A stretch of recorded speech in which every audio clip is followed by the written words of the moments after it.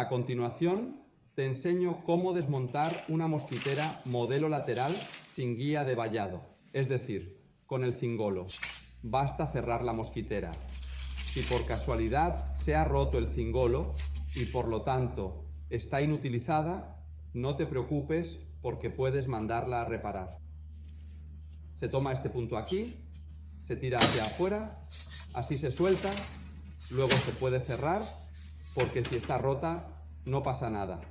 Se extrae y se lleva a reparar. Para volver a montarla, mismo razonamiento porque aquí tenemos unos ganchos que se van a enganchar aquí. Cuando regreso, la mosquitera se sujeta inclinada para que entre en la altura.